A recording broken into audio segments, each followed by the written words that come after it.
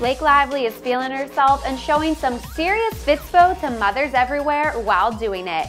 The stunning blonde is showing off her impressive 61 pound weight loss after giving birth to her second daughter in September 2016.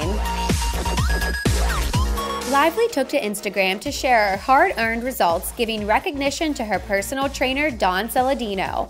Thanks for kicking my ASS into shape. 10 months to gain, 14 months to lose, feeling very proud. And we are just as proud, Blake. Aside from her workouts, Blake has also been busy on the set of her upcoming film titled The Rhythm Section, which is an adaptation of Mark Burnell's thriller novel series. The actress went under a complete transformation for the role, looking almost unrecognizable in photos on set. For other stories, make sure to like our Facebook page and subscribe to our YouTube channel for more Hollywood updates.